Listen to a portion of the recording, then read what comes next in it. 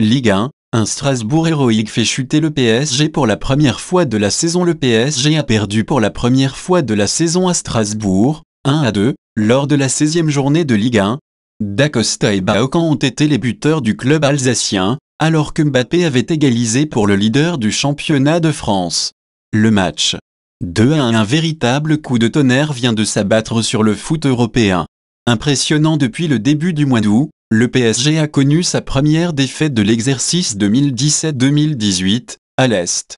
Mais si nous aurions davantage parié sur son déplacement à Munich, mardi contre le Bayern, pour voir le club parisien chuter, c'est à Strasbourg que le leader du championnat de France a craqué pour la première fois de la saison toute compétition confondue, 1 à 2.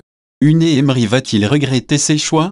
En laissant Cavani et Verratti sur le banc au coup d'envoi, l'entraîneur espagnol s'est privé de la grinta incomparable de son Uruguayen et de la technique de l'Italien, deux domaines dans lesquels le PSG a pêché, notamment durant les 40 premières minutes, où il fut méconnaissable.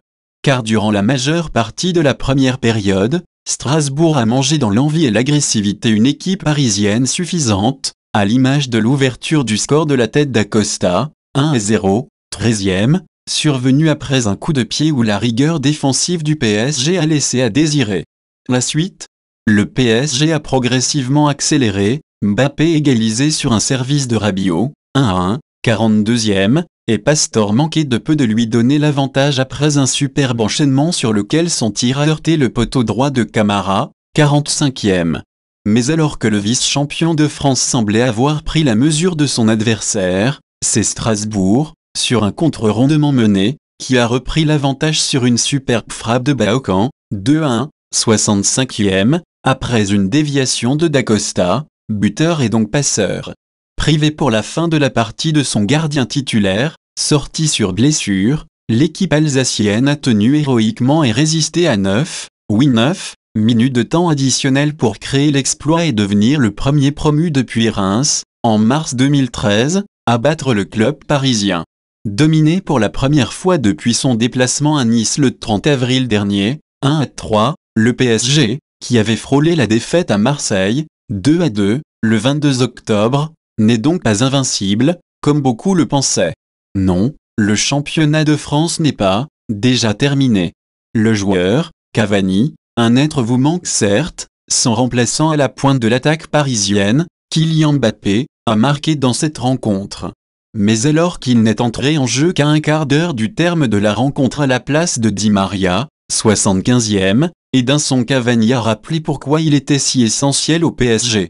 Tout d'abord dans son profil, car l'attaquant, capable de décrocher, presser, est unique, à l'image de son jeu de tête. Mais également dans sa mentalité.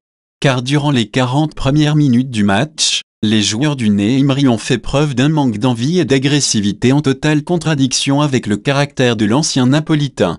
Et nul doute que les supporters parisiens se posent, ce samedi, cette question, pourquoi l'international uruguayen n'est entré en jeu qu'à 15 minutes de la fin du temps réglementaire? Le fait, le réalisme de Strasbourg si le PSG a manqué de justesse devant le but adverse, à l'image des ratés de Di Maria, 39e, 41e, du poteau de Pastor après une inspiration géniale, 45e, ou d'un Cavani mis en échec par Ukidja au bout du bout, 90 plus 8, Strasbourg a fait preuve d'une redoutable efficacité. L'équipe de Thierry Lorraine a tenté sa chance qu'à cinq reprises dans la rencontre et a marqué sur ses deux seuls tirs cadrés. Un bilan qui tranche avec celui du PSG, auteur de 29 tirs dans le match, un record cette saison en L1, pour un seul but face à l'avant-dernière plus mauvaise défense du championnat.